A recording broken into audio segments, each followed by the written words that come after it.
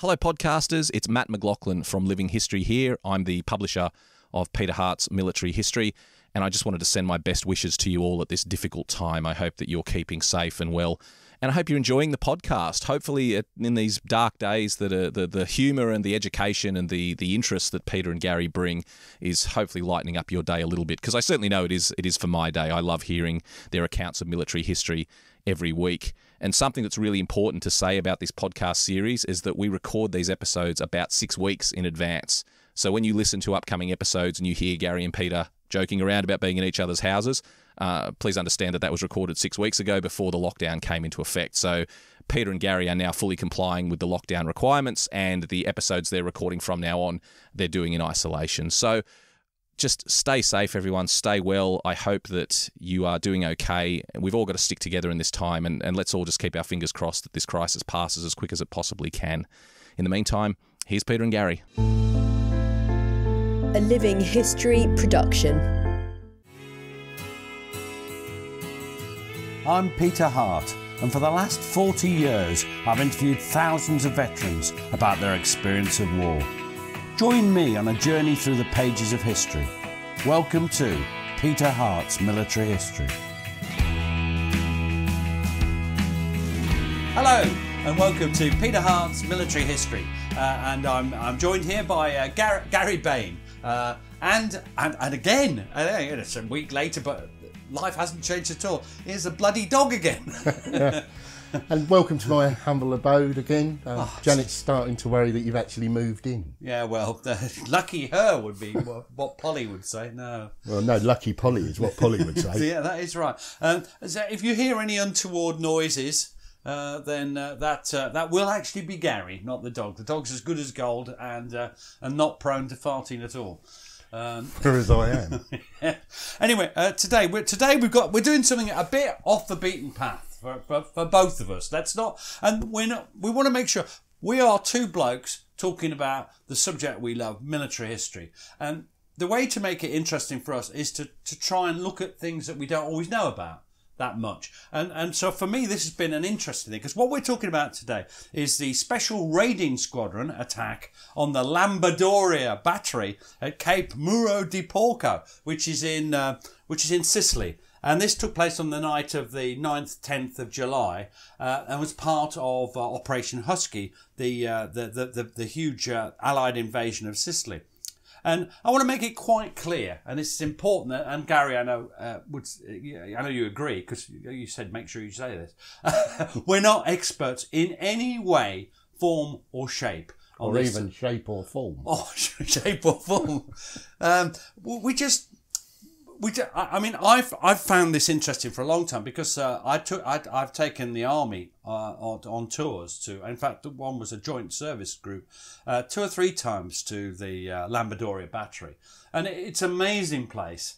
Uh, and it, it just it's something that when I was there, you, you hear this story, and you hear the story about the Special Raiding Squadron, and you hear about their leader, Major Blair Mayne. Uh, um, I think you'd probably call him Paddy with your uh, over familiarity with people, um, and uh, and it just it just attracted my attention. It was also the scene, and this is a complete non-secretary of one of the acts of most grotesque stupidity I've ever witnessed. And this was a naval officer at the time, a lieutenant commander, and a logistics specialist. So a man with a brain the size of a planet. Rob Thompson, that's for you. Um, and this chap was, uh, I took him to Gallipoli, and he was, uh, he was, we were walking up uh, the, we we're on Walker's Ridge, and he saw uh, a snaky looking thing, and he bent down to pick it up. And as he as he bent down, I don't know why he was bending down to pick it up, sign of a big brain, and he realised what he was doing, and suddenly leapt back. And if you leap back on Walker's Ridge, there's two things that can happen. One is you're off the edge, and the other is you're on certain footing. And he twisted his ankle, which led to considerable pain and suffering from as he descended the rest of the way down Walker's Ridge. A ridge, by the way, that I seem to remember from last week, where you ducked out of walking down last time due to uh, cowardice, wasn't it? Yeah, pretty much. I don't blame you. And um, anyway, so what's this got to do with, uh, well, uh, with the uh, Lambadoria battery? Well, I took the same chap, I'll know him as his code name, Nev. I took the same chap with another party to Sicily. We went to the Lambadoria Battery, and it's like very rocky, sort of, you know, very rough. And he started telling this story about the last time he'd been with me, and he was acting it all out, you know, and jump. And he, uh, when he came to the point of jumping backwards, he he he fell over. And guess what he did? I'm imagining he twisted his ankle. He did. Oh, never. And this is a man who was promoted to commander later on. This is this is, and it's irrelevant to this story. He was Irish as well, so that just added greatly to the amusement of all. And it was it was perfect. But that that is one reason I remember this battery. But the real reason I remember is because of this amazing raid. And this raid was absolutely important because uh, it, the, the, it, it had to be done to uh, to protect the, the, the, the main 13 Corps landings in the Gulf of Noto uh, on the morning of the 10th of July. Now, I think the best place to start is to sort of build up to this because let's set the scene a bit and let's talk about uh, um, Major Mayne. Um, Yeah, I uh, mean, who, first. who was he? I know absolutely nothing about uh, Major Blair Mayne. So, who was he? What's his background? Well, a, a lot of what I know is in uh, Hamish Ross's book uh, um, uh, called Paddy Mayne, and and uh, I, I, you know, and th- there are other books, but I'm not so sure about them. Because this is a, a figure is of myth, you know, uh, and there's a lot of bollocks talked about him. They, they just over egg the pudding. He was a wild bloke. He was often known as Paddy in his time. I, I don't really, you know. And he was born on the 11th of January 1915, which, if you look at my uh, Facebook page, uh, Gary, which I know you do, uh, the, the word stalker was used by Mat when he described you. Um, but uh, it's the day after my birthday because I was born on the 10th of May 1915, according Oh, to you were born on 10th of January. 10th of January. I said May, didn't I? Yeah. I seem to be drunk. Uh, anyway, um, so so um, now he was born. He was the son. Of, he was in a wealthy property owning owning Protestant type family in Newtownards, County Down. I don't know where any of these places are because, like most people, I don't know anything about Ireland at all. Because that's the English for you. They they only know small things, uh, you know, around the south. He studied law. He was a bright lad, clearly, and studied law at uh, Queen's University Belfast. And there he was a member of the Officers Training Corps. So you know, And I believe he was also uh, a, a, an accomplished heavyweight boxer and rugby player. like yourself, but I'm not quite heavyweight at the time I boxed. Um, oh no, so a big man, uh, very active, and uh, I think described as an elite sportsman. Didn't he represent his country? He did. He played rugby union for both Ireland and uh, and the British Lions. Um, he was uh, over six, about six foot two. People say he was six foot six, but I believe that's a little over the top. I, I don't know. And he weighed in at a, uh, for you, a modest 17 stone. Uh, so just a few ounces heavier than you uh, at the moment. Uh, And similar height. and yeah, yes, Gary. um, I'd forgotten about your uh, height issues. Um, he was, um, he was, he was a handful uh, on on tour. He was an elite spot. He was a great rugby player. No two ways about it. Um, but he. Um, he went on a tour of South Africa and he distinguished himself by what could, was described as volatile, dangerous, unpredictable behaviour, particularly when drunk, which was often. Uh, and he he, took, he used to apparently hang around the, the dock areas and pick fights with people and all sorts of things. And uh, he he was wild. There's absolutely no doubt I wondered it. where you were going with the hanging around dock areas. No, uh, that there is a there are yes. I would much well face that one down. I have no idea about his sexuality at all, and I think this this this cult of of picking on famous people and trying to imagine what their sexuality was when we have absolutely no bloody idea whatsoever. And I, I'd like to say that I, I'm in that I don't know, and I, what's more, we don't care either. Uh, what's more interesting is what he did and what we know about him, or or, or, or what Hamish Ross knows about him. to be honest, um, Although I might start a cult about your sexuality. yes, that'd be very kind of you. I'll ask my Polly; she'll tell me. I think it's uh, non-sexual at the moment, uh, in that stage of marriage. Um, now. Um, uh, well, so what? Uh, uh, uh, he he finished at. Uh, he began a career as a solicitor in about 1939. Uh, so just before the war, and then at the outbreak of war, he was commissioned into the Royal Artillery, Uh, su- surprising how many of these special service, given the, the infantry's attitude to the Royal Artillery, how many of the uh, special service people come from Royal Artillery. And he served with various anti aircraft units. And of course, how many of them then leave it? Oh dear! I was bit. I really like the Royal Artillery, so I was trying to be nice to him. You just undermined it.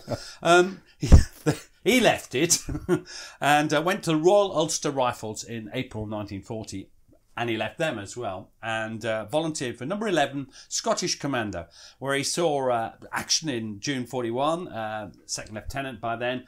Uh, and he was in the Syria Lebanon com- campaign. Ah, this is all. I mean, I'm reading now. I don't know about this stuff. He then transferred to the Special Air Service, SAS, uh, but it was then known. This is one of those things that's got 8,000 million names, which all the geeks who are, fascinated in the Special Air Service know i the exact details of.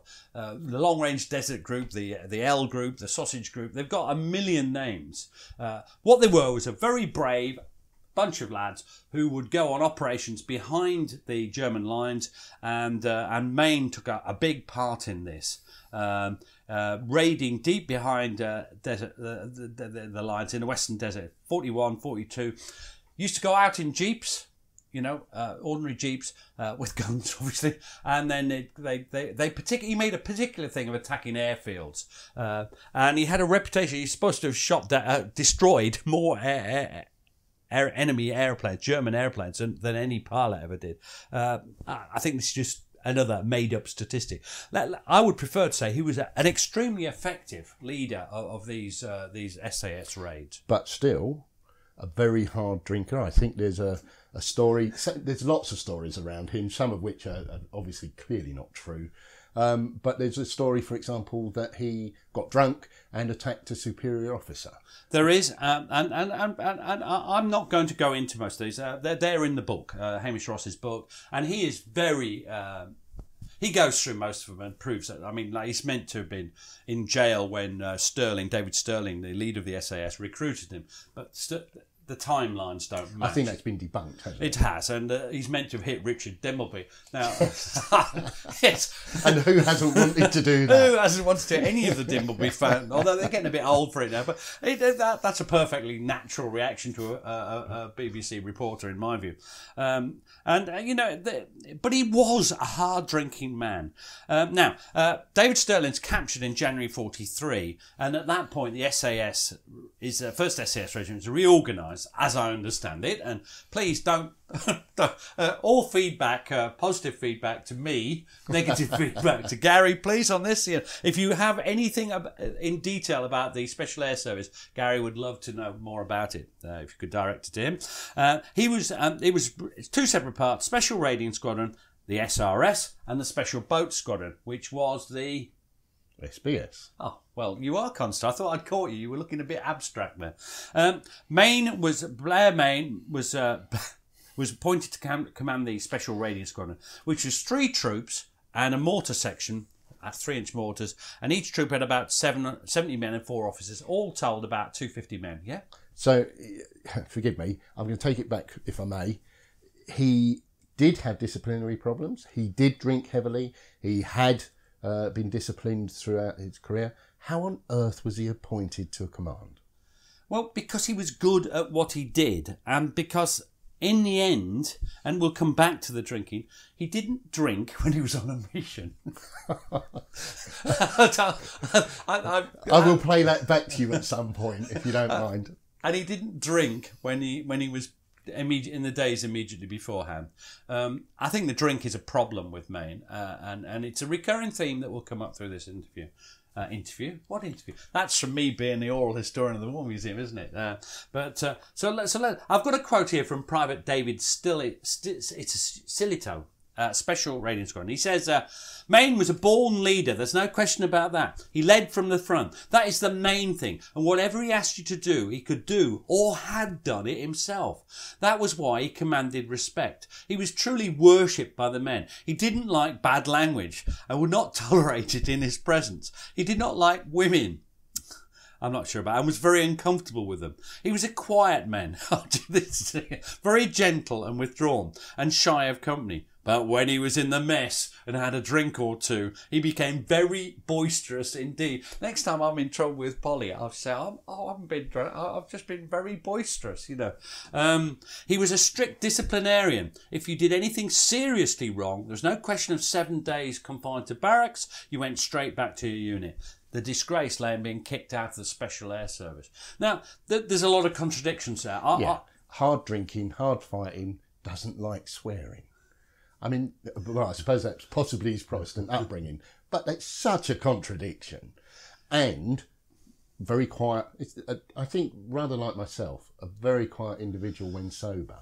a quiet and sensitive indi- individual, and like yourself, he had he and I'm not lying. He had a penchant for reading poetry, which uh, we've explored uh, a little bit during these podcasts, and will increasingly do so. And yes, that was a threat. I think it's a threat to the listeners more than anybody else. But Yeah, I think that's where our paths di- di- uh, diver- diverge on the basis that uh, he drinks and fights, and I drink and read poetry. So, so yes, when it, yes, the exact opposite, in fact. So he, I mean, he, loads of people talk about him reading uh, uh, poems, about about reading uh, highfalutin literature, the sort of stuff that I'm gazing at yours. I can see. Uh, Well, he's an educated man. You know, he, he is a qualified solicitor. He is. He is. And, uh, you know, he's, you know, he's a bit of a loner when sober. By 43, he demonstrated a gift for, for raiding. So whatever he was, he, and this business of leading from the front is very important in elite, elite raiding forces because it, you've got to show that you can do, you, as, as Silito said, you've got to show you can do it too. It's not, I say, you chaps, go, go and do that. It, follow me you know, and it, it's a world of difference. Uh, anyway, so 43, natural gift for raiding. He would weigh up a situation. Uh, he was intuitively brilliant in, in guerrilla tactics. I mean, that's that's you know, and and all the while, one thing that was noticeable was he tried to avoid casualties. I would say here, trying to avoid casualties on his own side, and he had a reputation for uh, causing a lot of casualties to the other side. And this is one of the things that I, I'm with uh, Hamish Ross again. I keep mentioning him. That's because he's the main. I've read two or three other books and I didn't like them like I liked his book.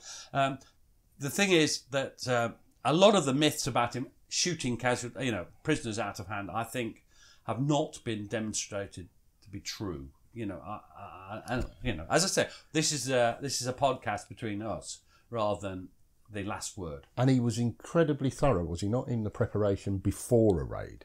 He was, he was. And let's look at how they prepared for this raid. Now, what they're raiding is the thing called the Lambadoria Battery, and that's on a, a sort of a peninsula. I think that Mat will put up a map, and you've got a map in I've front got of you. in front of me, yeah. And it's called the Ca- Cape Muro de Porca, which is, uh, well, funnily enough, looking at you, snout of the pig. And your whole your head is almost exactly the same shape as as the peninsula. See? Yeah, Uh, thank you. Um, and um, and so that was what he was doing. Now, why? Why? Well, that had three 152 millimeter naval guns. Now, I love this sort of precision. Not 151, not 152 millimeters. And don't you forget it. Uh, so there's three of them, and their range covered the Gulf de Noto. Why does that matter? That's where 13 Corps was landing, and that's uh, uh, 5 Division and 50th Division. Uh, so they're landing there, massed landings on the morning of the 10th. So why are we invading Sicily at all? Basically, it, it, because the, the- I don't. I, we're going to do a whole podcast on the invasion of Sicily, so I want to sort of leave it for there. But basically, we're invading it as as we've got to do something. Uh, the Russians are fighting nine tenths of the war, and there's a huge row between the Americans who don't really want to get involved in Italy at all. They want to concentrate on the second front, the invasion of uh, northwest Europe, uh, through, and the and then the British, who as usual think it's better to just fanny about around the edges of things. Uh, and this is Churchill for you.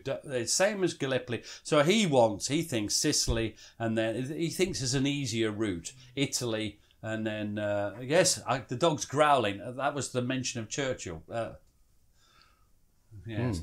Uh, so, uh, so just gut eyeing him because he's probably farting, uh, which also Churchill, I believe, can cause in certain animals. Um, so uh, that that's that they have to stop. They have to they have to get this. It's also got three fixed uh, gun in place for 20 millimeter Oerlikons, uh, Oerlikon style, I would imagine, but they may have been Oerlikons anti-aircraft guns. Now, um, how did he prepare for this? Well, the first thing is that uh, fitness. Fitness, fitness, fitness. He was obsessed with getting his men fit, and he drove them hard. Now, it doesn't matter what what leader you are, and I've looked at a couple of others as uh, the the three commando leader, Durnford, uh, Slater. Same thing. They're they're going to get the men fit so they get ready for the challenge, and it's not just being ready for the challenge. They've got to have some leeway so that if things go wrong, they're not at the edge of their limit, limits. They've got a bit in hand, you know. Uh, he does this. He he uh, he sent his men on long marches. Uh, they uh, they take the wireless with them, 38 wireless, and they they practice that continually, 100 yards apart, because communications is absolutely crucial uh, to identify any hold-ups. Uh, they, they, they, they, they, they march all night, stopping only 10 minutes in the hour. Uh, and Mayne, remember Rugby International, fit as a flea, uh, he would march up and down the line, from back to front of the line, shouting, Faster, faster! I hope he said, You dogs. faster, you dogs! But all we have in the records is faster, faster. I would definitely have shouted, Faster, you dogs! And then they would have said, We dogs are going faster! But that's not in the records. But then history can be fun as well, at least while people aren't dying, which they aren't at this time. And he would monitor the people's reactions you know, and people who weren't up to it would be out. Uh, on one occasion, this is appalling, he even gave one troop Benzedrine, the uh, amphetamines, to check how they reacted compared to the other troop on the same march. Um, I should imagine that went really well. Slow down those men. anyway, um, he also had a, a very big realistic training exercise. Uh, they went from Suez to the Gulf of Aqaba. Can't pronounce it. A Q U A B A. And after they had a briefing with proper maps, aerial photos, and, and, and they formulated an attack for an imaginary gun battery at the top of a steep hill, which sort of, you know, and that was defended by some Indian troops. Um, and as they were attacking, you know, this, it's very similar. And they were the, the plan was to cut the road and then they'd attack up the hill. And it was all going well, and they were making a covert approach. So presumably hadn't told the Indian troops what they were doing. Oh no, no. Well, they, they no, they, they knew they were coming, but they they didn't know when and how. You know, otherwise they'd have shot them. Remember, um, and they're coming quiet, as, point. quiet as a mouse, quiet as a mouse up this hill, and then suddenly Mayne they're going too slowly. With the result that the Indians all started shooting their blanks and, and all hell broke out into a maze of very light thunder flashes. But they took they t- took the post, you know. Yeah. Um, and it was a good practice, good practice. Um, uh, they practiced climbing cliffs uh, with ropes and ladders. But when you see the pictures, they're not cliff cliffs. You know, I don't want you to imagine some sort of vertical 200 foot high cliff because it's not that's not you know but steep steep they used a, you know still bloody steep yeah if you fell off you'd still hurt them they did a final training exercise against an anti-aircraft battery again near Suez uh, this time getting more to what they do so number three troop of the three troops cut the road to the battery i.e. preventing reinforcements. Number one troop provided covering fire, and number two, two troop made the assault, moving along the beach. A, a great success, you know. Um, and then and then came the formal briefing. Now it's at this point that both you and I have enjoyed many, many drinks together, and of course our our benefactor Mat. Uh, that's how I met Mat. Was whilst uh, we'd had a couple of pints. I think it's fair to say. So I think I know where you're going here. There is a suggestion that he briefed his officers whilst completely pissed. Yes, I will run through the pattern of his drinking as revealed to us in another book, which I'm going to be using a lot on this. Uh, this is Peter Davis, SAS Men in the Making. He was one of his uh, his officers in number oh bugger two troop two troop. Uh, you know, second young second lieutenant, and he leaves this account of Mayne's drinking. I think it's him anyway. Um, he says this uh, between uh, 2000 hours and 2400 hours, the quiet drinking in his room on his own. Now that would do for me. Four hours drinking. Yeah. Uh, possibly in my heyday, I could have just about managed a bit more. Uh, 2400 to 0300. drinking with his friends, particular stalwarts who like to drink. Yep, I see friends getting up for a little bit of a walk round. He's excited by all this talk of drink. Um, Peter Davis calls them the stalwarts. Peter Davis was not one of the stalwarts. Between uh, three o'clock and dawn, what he would do is send his stalwarts off, wake every other officer up, and demand they come. And if they didn't come, the door was broken down and they were fetched, dragged, and made to sit there with the commanding officer and drink. Now, uh, there's two things I'll say about this. One is that's incredibly funny to people who enjoy a drink. It is, and it's hilarious. It's also madness. This is not the way to behave or go on. And it's in one of those sessions that Davis says uh, he briefed them. It was at three o'clock in the morning, you know, and then everyone was pissed, and they had this the, the huge model out.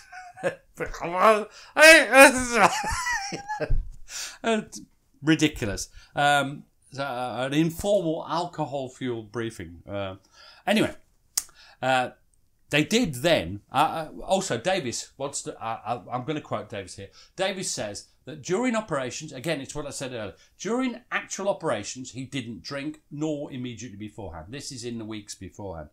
They then have a formal briefing aboard the ship they were on, which is the Ulster Monarch, which is I think it was a, an old steamer between Ireland and and well Ulster. There's a clue and uh, that island that's near Ireland, England, or Scotland, Oh, or Wales.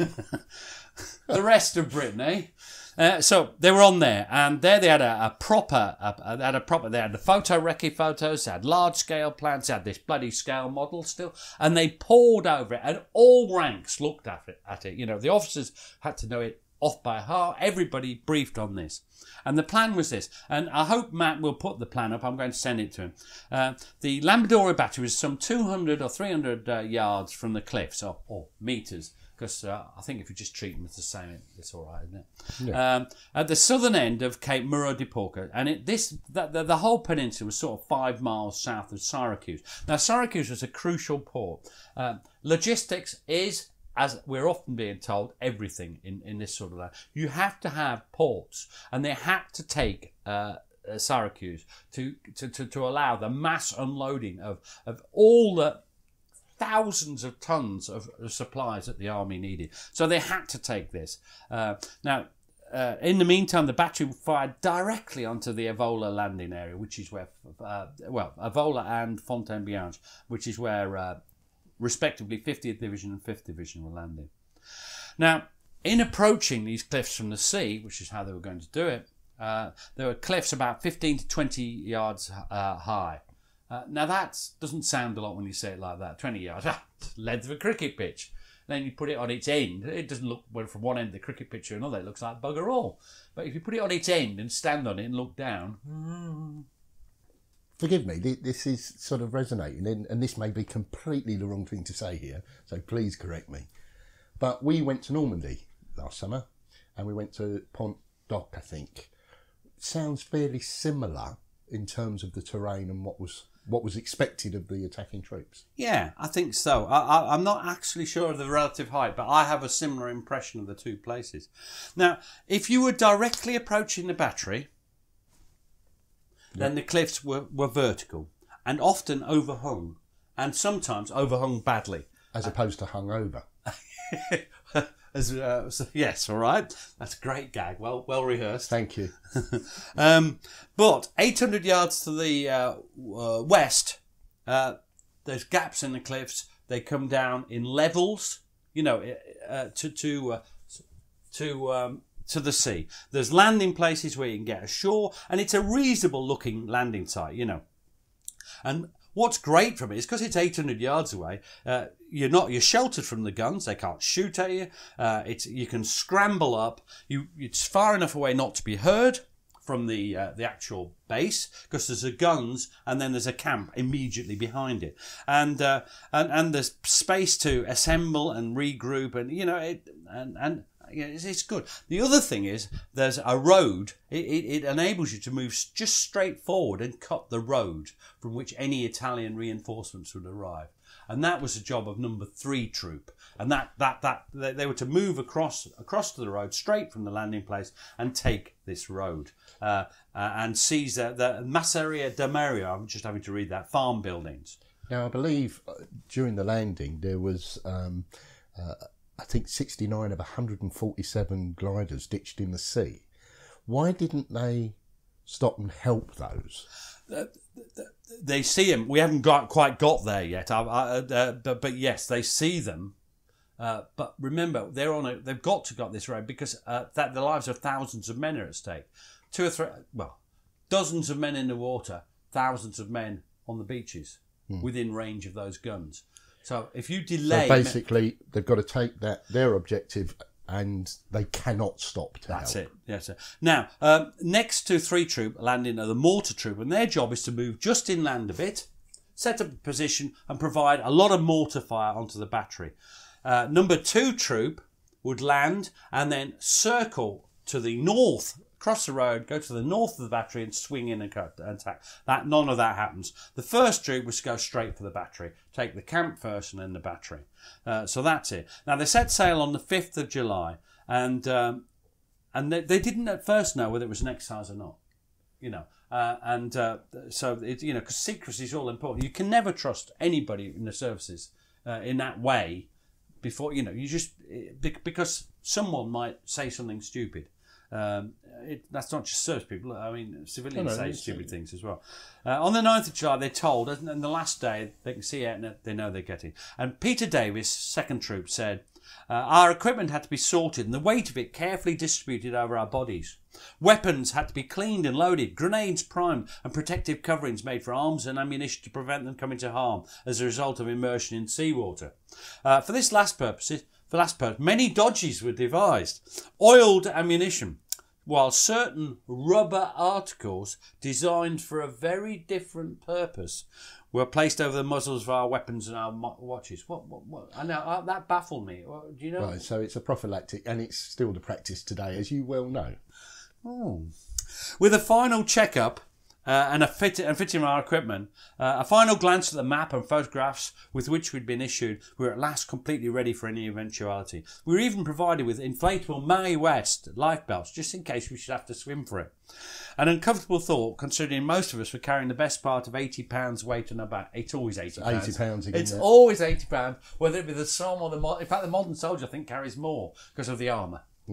Um, now, so that the last hours, Peter Davis is, is suffering. Not, I don't think nerves is right, but this is before you go into action. People get, you know, it's you know, and he's going far worse than the actual fighting itself. Is the period immediately preceding the engagement. During that time, the waiting, the inactivity, and the considerable nervous tension would completely occupy our minds, and the temptation to spend our time brooding and thinking morbid thoughts was hard to resist. It was at times like this the, the fear of the unknown would take the strongest hold of us. It was too easy to look at this group of faces we'd come to know so well and let the thought possess us almost certainly that, that, that there would be many would not see again after a few days' time. We knew there was a great chance too that we ourselves might be among the unlucky ones who would not return. We would look at all our intimate personal possessions, our photographs and letters from home as we packed them away and wondered if we'd ever see them again and what would happen to them if we did not come back. This is standard stuff it, it's emotional. And it's you know whether it be australian troops before the light horse before they go over the top of the neck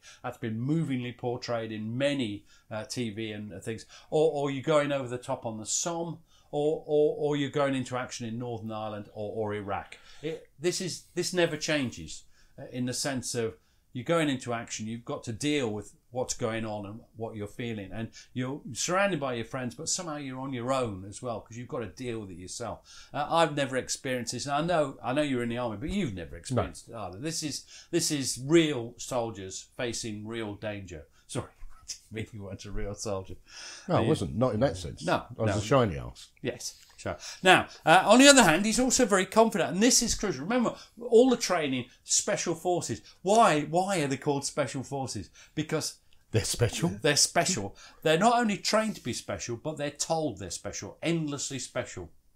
You know, and, and this and he says this to counteract these very natural fears was a supreme confidence we had in our, our own ability, resulting from our previous thorough training. We knew that we were trained to such a degree of efficiency that we'd be able to take on enemy forces greatly superior to us in number and still win the day. All we hoped and prayed for was a speedy end to this deadly waiting and uncertainty and a normal amount of luck and favourable conditions to allow us to show, and I apologise for his language, but it's of the time, to show these IT bastards exactly where they get off. And that that's that's it. I mean, you know, that's the confidence that we could never have. I mean, we'd never have that consoling thought before going into action. We'd be just shit scared and wouldn't be able to think, ah, oh, but we're super soldiers. We'd be thinking, ah. Um, now, um, many of the men were, were seasick. They had to get on the boats next. And this, this is Lieutenant Derek Harrison, also too true. And SRS Embark. You know, this is the, the, the whistle blowing moment almost. Slowly, the head of the column moved forward to where the craft were swinging madly to and fro. These are the assault craft. Uh, from behind, it was impossible to see what was happening, but I could guess oh, only too easily. The long wait while you judged the swing of the craft all right, the summoning of sufficient nerve to make the leap, the knowledge that one mistake would plunge you, weighted with equipment, into the boiling seas, because it was rough weather. Uh, Peter Davis says, staggering under the weight of my kit and still feeling weak from seasickness. People always underestimate the effect of seasickness in these, these, these combined operations. I fell into the bottom of the landing craft and after picking myself up, made my way to an appointed seat. I hardly sat down when I heard a splash, followed by the shout of, Man overboard! God, had one of our chaps fallen in? Frantic efforts were made to pull him out. Never mind about him! Get cracking and get those boats away! Came the harsh voice of the ship's first officer. The longer we were there, the greater the danger we were in. However, the boats were loaded without further incident, and Jocelyn was successful. That's Private Jocelyn successfully fished out of the water. None the worse for his adventure, save he was soaked, shivering, and had lost his rifle. Great, just before he goes to mm. land on it, you know. Um, Derek Harrison uh, suffering awfully. He said, We're taking on too much water too fast. What we didn't know was that our bows had been holed by the crashing of our craft against the sides of the parent ship. But all thought of drowning was quickly forgotten in the face of a new peril. In sudden panic, I groped on the floor for the all too inadequate cardboard basin provided by the thoughtful Navy against such an eventuality. I found it sodden and useless. Next thing, I was leaning over the side, wedged between the guns we'd mounted forward, my stomach writhing. In other words, he vomited all over the place, over the side of the ship. The, now, um, there's, there's a searchlight going backwards and forwards from the, the, the, the battery. Uh, and, and, and there's an air raid going on, and they can hear heavy bombs falling. And this distracts the searchlight. The searchlight doesn't come out to sea, so they're approaching. And then there's an alarm, and this is where the glider business comes. Now, suddenly, as we were creeping in the this is Peter Davis. Suddenly, as we were creeping in the silence of night, it, uh, it, was rudely shattered. Although we were still about 200 yards from the land, the noise seemed to come from right beside us. And sure enough, about 20 yards away, we were able to discern a low black shape, from the top of which torches were flashing and men were shouting. For one awful moment, moment we thought we'd been discovered by an enemy E-boat, and firmly believed that our last moment had come.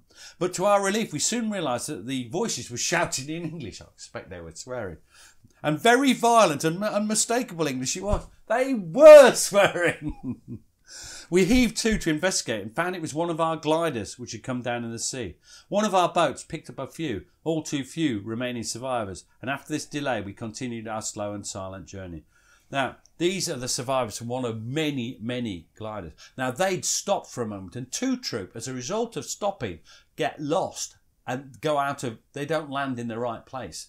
Probably because of this. The rest ignore them. And there's loads of accounts from both the men in the sea and the thing that uh, they were ignored. Davis's had stopped. They were on Operation Ladbroke and 147 gliders you know, 69 landed in the sea. Uh, a load landed everywhere else. A very few, only 20 landed in Sicily, and not any of them were near. They were heading for the Ponte Grande Bridge, most of them. Uh, and 252 men drowned in the sea in that. You know, it's terrible. It is terrible. They get ashore. Uh, now, Peter Davis realises they're in the wrong place, and he says this We hit the shore with a slight bump, and from then on, it was only a matter of carrying out, once again, the very thorough landing training we'd gone through so often. After assembling on the beach, by beach, he doesn't mean, you know, he mean, no. We, we made towards the cliffs, which rose up just ahead. Not that they were really cliffs as such, uh, except for a sharp climb out of the boats of about five foot. The shore rose gradually ahead of us in a series of rocky steps and boulders. So the ropes were found to be unnecessary and were able to reach the top without any undue exertion. Now, he is landing uh, about 800, he lands really ju- not far from the, uh, the battery. Not, he's meant to be 800 yards to the west. He, uh, west, yeah, no, west, west, sorry, east and west. Yeah, they were meant to be west. And he doesn't. He lands more, you know, just almost below the battery. And, the, the, the you know, now here Are they in contact with the uh, first and third troop, or uh, I'm concerned here? How how are they making sure that they maintain communication? Well, they're not because they're, the the the two troop uh, are not. There's no reference of wireless messages, so I find this confusing. And and another young officer, another young officer was uh, Lieutenant Derek Harrison, and he he tells a really different story. Now. There's a there's a website called, called Operation Ladbroke which has gone into fantastic detail about this, and also there's another book called Stuart McLean SAS History of the Special Raiding Squadron, and they've worked out between these people that uh, they land he thinks they landed not far from Davis, really. But Harrison has a. He wrote a book called uh, These Men Are Dangerous. Now, this is interesting because in those days, 1950 something, um, they just made it up. You know, books were heavily fictionalized. And this isn't necessarily people telling lies, it's editors and uh, what you call as ghostwriters improving a story. So this is Harrison's story. In single file, we began to scale the cliff. I could see neither foothold nor handhold. I felt for them instinctively, hauling myself up inch by inch. My dread of heights had gone. Only once during the climb did it threaten to return. We'd been edging our way along a ledge of rock for some minutes when the ledge was not there anymore. I remember thinking only that I must try another way. I could see nothing. It was as if someone else were guiding my hands and feet. I stretched up above me. The rock was broken but firm. I scrambled up. How long that climb took, I do not know. It could have been ten minutes or ten years. At the top, I lay down among the rocks and boulders strewn around. This bears no resemblance to any other account of anybody else on the landings. Now, if he landed to the to the uh, west, east, sorry, if he'd landed to the east where he says he did, then it would have been like that. But the other men in his in his troop and the engineers who were accompanying his troop don't say it was fairly easy. So this is just writing up this this thing. Now the others that have landed, three troop land, no problem, move ahead, take the farmhouse, cut the road, and and uh, cover a couple of pillboxes, grenades into the pillbox, stop the way forward. So what's happening with the rest of them? Where's Well- Mayne at this time? Uh, we don't. He, he doesn't. He's just in charge, and that's interesting because we've talked all about Mayne, but when you actually get to the thing, he sort of comes back into the story at the end. At this stage, as it so often is, this is the troop commanders who are dominating the action. This is their fight in many ways. Mayne has set the scene and then comes back into it once the work has done. I don't mean he was hanging back. I just mean that he's with the headquarters lot. Um, the the mortars start firing, and uh, this is uh, Lieutenant Davis. Mortar bombs are falling fast now, and we're most relieved to realise that they were, were our own. Alec, that's uh, uh, a young second lieutenant, with his own mortar section, uh, undelayed by picking up glider survivors, must have arrived some minutes before us, and he lost no time in getting into action. His second bomb was right on the target and set ammunition and grass in the air on fire, so the whole objective was clearly and very conveniently lit up in every detail. Now, he realises, and Harrison realises, they've landed in the wrong place. Second troop were meant to land and then go round and then attack from the north. Well, they can't, can they? Um, and um, you know, um, they can't. So, uh, so, so what's happening now? Well, the next point is uh, we've got to turn to the Italian preceptor. Uh, and this story, I thought long and hard. I cannot stand people who have a cartoon idea of Italian servicemen. Uh, the Italians had fought brilliantly well in the North African desert. Uh, they'd been badly treated by the Germans and they'd been badly treated by us, but several of their formations had been excellent. And uh, but at this point in the war, there's not a lot of point to it. A lot of these are coastal troops. They're, they're, actual locals. They're barely more than, than Dad's army in a sense, you know. They're, and they're not keen. Now, this story has a farcical element. This man, Lance Corporal Paolino Carmelo, he's a rangefinder operator in the Fire direct, Direction Centre. And I love this story. It, I'm afraid it is funny in a sense. About 2130 hours, the air raid alarm was given. About 2200 hours, the battery and neighbourhood areas were illuminated by the launch of many flares. flares. The anti-aircraft batteries had opened fire against enemy aircraft, which flew at low altitude over our battery. Our 20mm machine guns were firing, uh, rapid fire, hitting some of the planes. They always say that. And then my favourite bit, at about 2300, the commander of the battery, Pandolfo Antonini, gave Anton- Antonino difficult uh, for me because I'm an idiot, gave orders for a possible attack of paratroopers and then started to load his submachine rifle. At this point, he accidentally pulled his trigger and fired a burst that hit me as I was in front of him. I was hit by three bullets, two in the left leg, one passing through the leg and exiting, whereas the other remained in the leg. The third bullet hit me in the left arm and is still there. this this is just a farcical. These are all. What I want you to take from not that these people are cowards. What I want to take from this is that these are almost untrained. You know, one of the things that the commando troops often talk was about the ability to reload their weapons quickly and efficiently. About the you know fire control that sort of thing. And there is a suggestion that there are women and children in the air raid shelter there they'd taken shelter because you know local houses there weren't that many houses but that's what i believe happened. There were women and children in some of the shelters. They were certainly found to be there. Now uh, the, the, uh, the, private jack nixon had been landed a couple of days earlier with a sort of uh, combined operations pilotage party uh, cop. He was actually number three troop uh, but he, he, he's got a great quote about an Italian lad. And again, what you notice, don't think harshly of the lad, just think, Nice little lad. Can you imagine? I like to think of this as Blue Bowl. the poor wee boy was standing ashen faced and rigidly at attention. Perhaps it was out of terror, surprise, or just sheer luck that he made no challenge to us as we approached him. And the underlying thing of that, there's a shot in. They'd have killed him. Yeah. You know, as echoed, but uh, you know, the old Goon Show. Remember, the Goon Show was veterans of the great of the Second World War. Uh, and people are always getting deaded, and this particular chap would have been deaded, uh, no doubt about it. Because these people shoot first. And a number of the goons were in the artillery, but they remained there. they remained there, yes. Oh. Um, now, the mortar troop, that's uh, Lieutenant Alex Muirhead, they're pouring the shells in. And uh, where they came up, there's actually steps.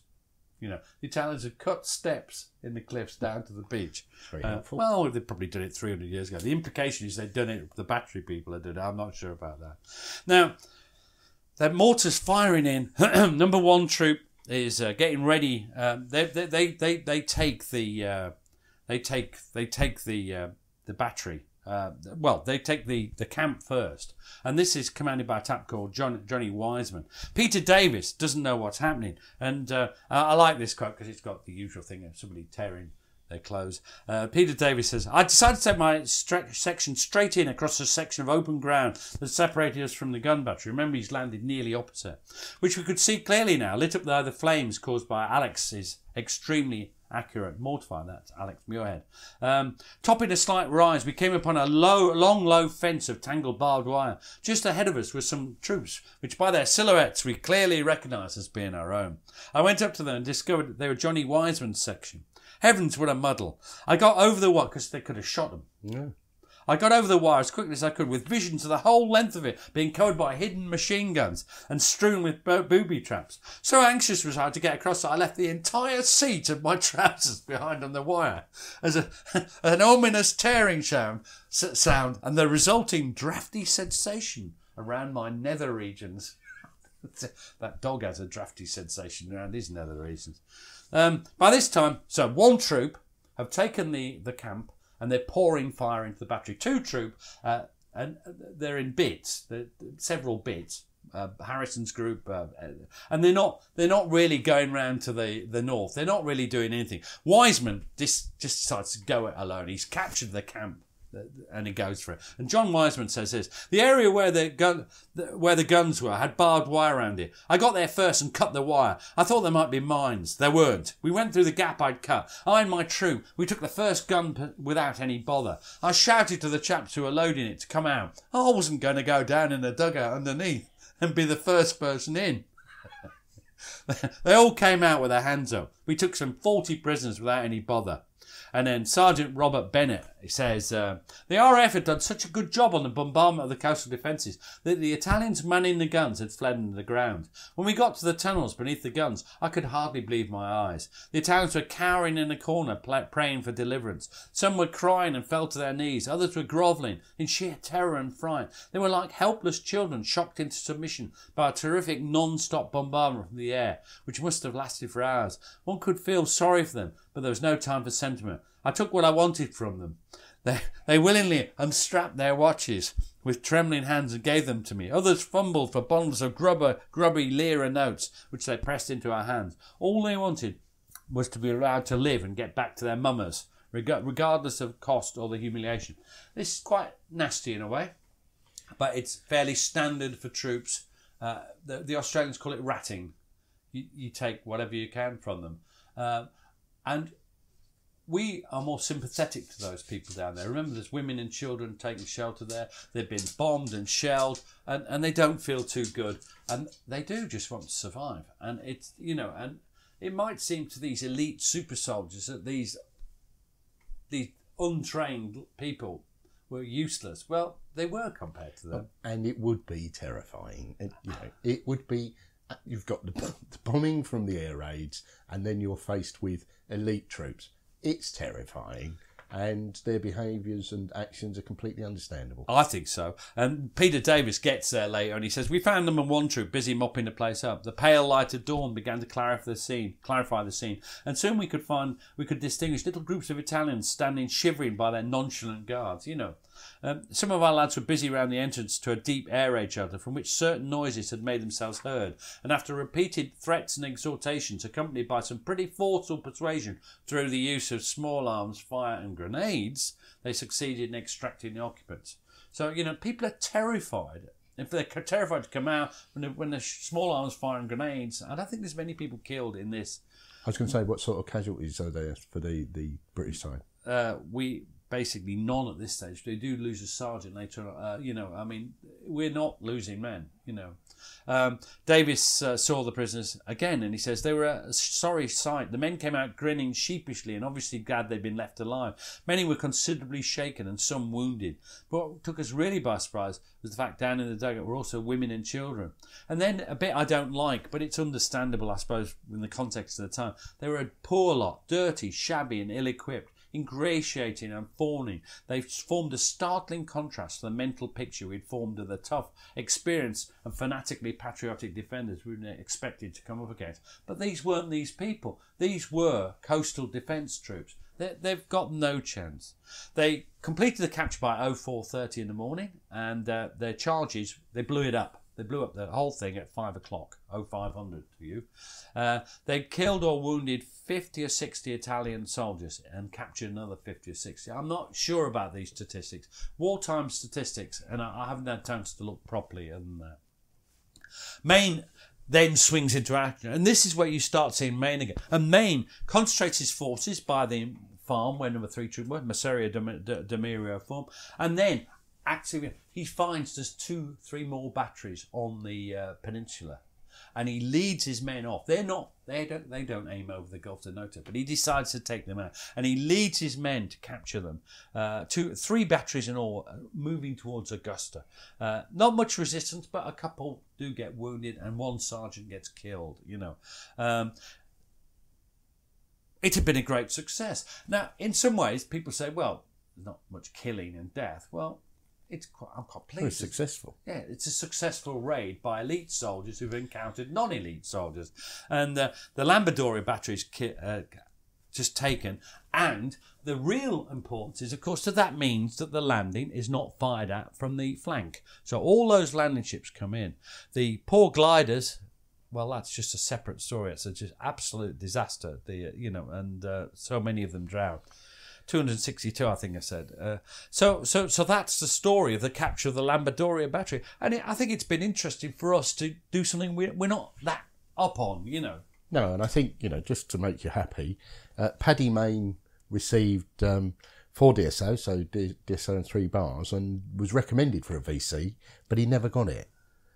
Would you think that's because of his behaviour, or I mean, he was a clearly very brave man, but I think arguably an alcoholic. And when did he die, and how did he die? Well, he. The, the, the I think uh, this is where uh, again I return to Hamish Ross. Uh, I think it charts a, a the story of a man who's showing the, the effects of post traumatic stress. Uh, I think he's put himself through too much. He's gone to the well a lot. Uh, you know the old gone to the well. Um, he, I'd, I mean, he carries on his distinguished career, and he's involved in some amazing raids in in northwest, uh, more raids in Sicily than in northwest Europe.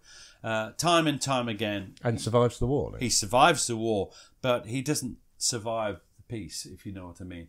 He uh, his drinking gets out of hand, um, and uh, and he dies drunk, according to the reports, in a car accident in 1955. He'd been drinking at a Masonic do or something such. Uh, he was only 40 years old when he died.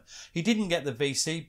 Um, I don't think that I, I'm not that enamored by medals in that way. I, I don't know why he didn't get the VC.